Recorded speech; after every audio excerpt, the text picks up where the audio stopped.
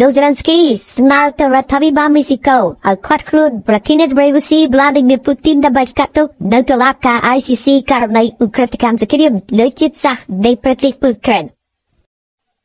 ស្ថានទូតអ៊ុយក្រែនប្រចាំនៅប្រទេសមេស៊ីកូដែលតំណាងឲ្យរដ្ឋាភិបាលលោកសេឡិនស្គីតំណាងឲ្យលោកសេឡិនស្គីបានលើកឡើងពីសំណើទៅរដ្ឋាភិបាលប្រទេសមេស៊ីកូដើម្បីខាត់ខ្លួនលោក Vladimir Putin ប្រធានាធិបតីរុស្ស៊ី ប្រសិនបើលោកពូទីនមកចូលរួមពិធីសម្ពោធចូលកាន់តំណែងរបស់ប្រធានាធិបតីនៃប្រទេសមេស៊ីកូដែលទើបចាប់ឆ្នោតគឺលោកស្រី Club D Sen Bun បេស្កាជនរបស់អ៊ុយក្រែនប្រចាំនៅប្រទេសមេស៊ីកូបានហៅលោកពូទីនថាឧក្រិដ្ឋកម្មសង្គ្រាមហើយបានថ្លែងអរគុណទូគីមុនចំពោះរដ្ឋាភិបាលមេស៊ីកូ ដែលអញ្ជើញលោកពូទីនមកសម្ពោធតំណែងរបស់ប្រធានាធិបតីថ្មីនៃប្រទេសមេស៊ីកូដែលធ្វើឡើងនៅថ្ងៃទី1តុលាឆ្នាំ2024នេះហើយថានៅពីនោះមេស៊ីកូអាចនឹងកាត់ខ្លួនលោកពូទីនដើម្បីបញ្ជូនទៅតុលាការ ICC នៃទីក្រុងឡាអេស្ថានទូតអ៊ុយក្រែនប្រចាំនៅប្រទេសមេស៊ីកូបានបញ្ជាក់នៅក្នុងសេចក្តីថ្លែងការណ៍របស់ខ្លួនថាយើងមានជំនឿទុកចិត្តថារដ្ឋាភិបាលមេស៊ីកូ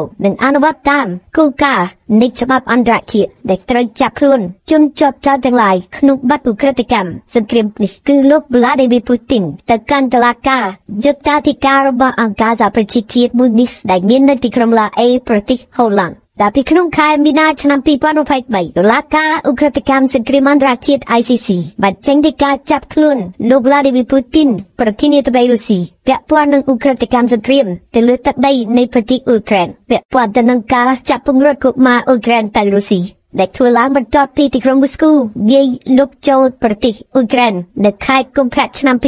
2022ជូនរ៉ាម៉ាន់ដេឡាហ្វូតអេករដ្ឋមន្ត្រីការបរទេសនៃប្រទេសមេស៊ីកូនៃគណៈរដ្ឋមន្ត្រីលោកស្រីធានាថ្មីទើបចប់ឆ្នោតស៊ីនប៊ុនបាននិយាយថាតាមប្រតិកោនៃគោលការណ៍ស្តង់ដារនោះការអញ្ជើញប្រធានាថ្មីណាក្រោយមកចូលរួមប្រទេសណាក្រោយដែលក្នុងនោះមានទាំងប្រទេសមេស៊ីកូផងដែរនោះគឺជាការបញ្ជាក់នៃតំណែងតំណងការទូតជាមួយនឹងប្រទេសនោះដែលពួកគេមកចូលរួមសម្ពោធចូលកាន់តំណែងរបស់ប្រធានាធិបតីថ្មីនៃប្រទេសមេស៊ីកូ ក៏មានរុស្ស៊ីនិងអ៊ុយក្រែនផងដែរប្រធានាធិបតីមេស៊ីកូដែលទើបចាប់ឆាប់នេះលោកស្រីសែនប៊ុនដែលជាស្ត្រីប្រធានាធិបតីនៃប្រទេសមេស៊ីកូដំបងគីតនេះបានឈ្នះឆ្នោតនៅក្នុងការបោះឆ្នោតជាប្រវត្តិសាស្ត្រមួយកាលពីថ្ងៃទី2មិថុនាហើយកំណត់ចូលកាន់តំណែង6ឆ្នាំរបស់លោកស្រី នៅថ្ងៃទី1តុលាជាថ្ងៃដែលលោកស្រីត្រូវធ្វើពិធីឡើងកាន់តំណែងយ៉ាងលោកពូទីននិងលោកសេឡិនស្គីក៏ជាមេដឹកនាំពិភពលោកត្រូវបានអញ្ជើញ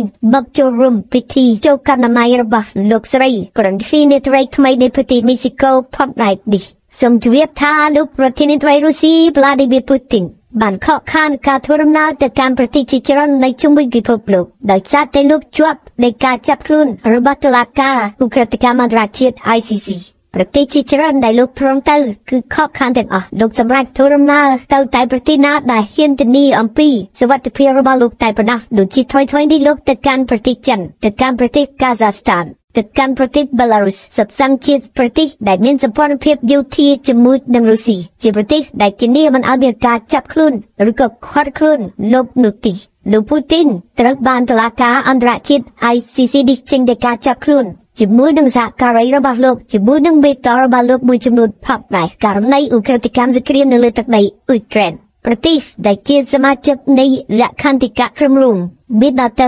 124ប្រទេសដែលពិភពលោកទាំងមូលមាន193ប្រទេសប្រទេសទាំងអស់នោះសុទ្ធតែមានកាតព្វកិច្ចក្នុងការខាត់ខ្លួនជនឧក្រិដ្ឋតាមដីការបស់ ICC ចៅក្រមនិងរដ្ឋអាជ្ញារបស់ ICC បានប្រកាសជាចំអហើយអំពីការចេញនៃការចាប់ខ្លួនលោកពូទីននេះ ហើយក៏សូមអន្តរាគមន៍ពីប្រទេសទាំងអស់នៅលើពិភពលោកដែលជាហត្ថលេខីនៃលក្ខន្តិកៈក្រុមរំទាំងអស់ក្នុងការបំពេញកាតព្វកិច្ចយោងតាមច្បាប់និងសិទ្ធិសញ្ញាពីក្រុមរំសហរដ្ឋអាមេរិកនិងប្រទេសប្រមាណជា40ប្រទេសទៀតបានសន្យាថាបើលោក Vladimir Putin បុកជន់ទឹកដីរបស់ពួកគេនោះគឺត្រូវចាប់ខ្លួនជាពិសេសគឺប្រទេសនៅអឺរ៉ុបសិតសិនតែសន្យាជាមួយនឹង ICC ថាខាត់ខ្លួនលោកពូទីន រដ្ឋមន្ត្រីការបរទេសសហរដ្ឋអាមេរិកលោកអាតនីប្លៃកិនបានចេញមុខជាងគេក្នុងការអំពាវនាវទៅកាន់ប្រទេសទាំងអស់ដែលជារហត្ថលេខីរបស់ ICC នេះអាចខាត់ខ្លួនលោកពូទីនបានតាមដីការបស់ ICC ហើយប៉ូលីសអង្គតប៉ូនឹងធ្វើដំណើរទៅយកពូទីនភ្លាមតែម្ដងមកកាត់ក្តីនៅចំពោះមុខ ICC នៅក្រុងឡាអេតែទីក្រុងមូស្គូ ប្រតិកម្មរហូតដល់គម្រាមបាញ់បំបែកការិយាល័យរបស់ ICC នៅទីក្រុងឡាអេទៀតផងទីក្រុងមូស្គូព្រមានថាបើប្រទេសណាហ៊ានចាប់ខ្លួនលោកពូទីនហ៊ានខាត់ខ្លួនមេដឹកនាំរុស្ស៊ីម្នាក់នេះគឺប្រទេសនោះនឹងក្លាយជាសត្រូវរបស់រុស្ស៊ីហើយវាស្មើនឹងការប្រកាសសង្គ្រាមជាមួយនឹងរុស្ស៊ីករណីដែល ICC ចេញពីការចាប់ខ្លួននេះធ្វើឡើងដោយអគ្គរដ្ឋអាជ្ញារបស់ ICC លោក Karim Khan ទីក្រុងមូស្គូក៏បានចេញពីការចាប់ខ្លួនលោកអគ្គរដ្ឋអាជ្ញារបស់ ICC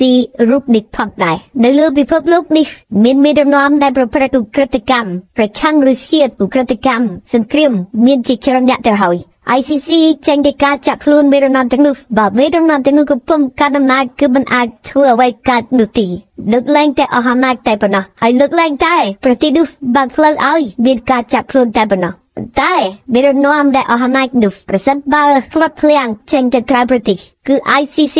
រដ្ឋអាជ្ញារបស់ ICC សហការជាមួយប៉ូលីសអន្តរជាតិអង្គតាប៉ូនឹងអាចខាត់ខ្លួនបញ្ជូនទៅ ICC នៅទីក្រុងឡាអេជាបន្ទាន់ យ៉ាងណាតឡាការឧក្រិដ្ឋកម្មអន្តរជាតិ ICC នេះក៏ធ្លាប់កាត់ទោសមេរណមឧក្រិដ្ឋកម្មនៃបណ្ដាប្រទេសមួយចំនួនរួចទៅហើយដែលក្នុងនោះមានអតីតប្រធានាធិបតីនៃប្រទេសសាប៊ីលោក Slobodan Milosevic ក៏ត្រូវបាននាំខ្លួនទៅកាត់ទោស នៅ ICC ផងដែរនៅក្នុងឡាអេករណីឧក្រិដ្ឋកម្មសង្គ្រាមលើទឹកដីនៃប្រទេសសាប៊ីក្នុងសង្គ្រាមកូសូវូកាលពីទសវត្ស1990ប្រទេសទូគីប្រធានាធិបតីរបស់ប្រទេសនេះក៏បានស្នើអញ្ជើញលោក Vladimir Putin ទៅធ្វើទស្សនកិច្ចនៅលើទឹកដីនៃប្រទេសនៃសមាជិកអង្គការ NATO នេះផងដែរតែមកពីនេះលោកពូទីនមិនទាន់ឆ្លើយថាត្រូវធ្វើដំណើរទៅប្រទេសទូគីតាមការអញ្ជើញរបស់ប្រធានាធិបតីទូគី Recep Erdogan នៅពីណាដូចទីប្រធានាធិបតី Recep Erdogan នៅតែទន្ទឹងរង់ចាំការមកដល់របស់លោកពូទីន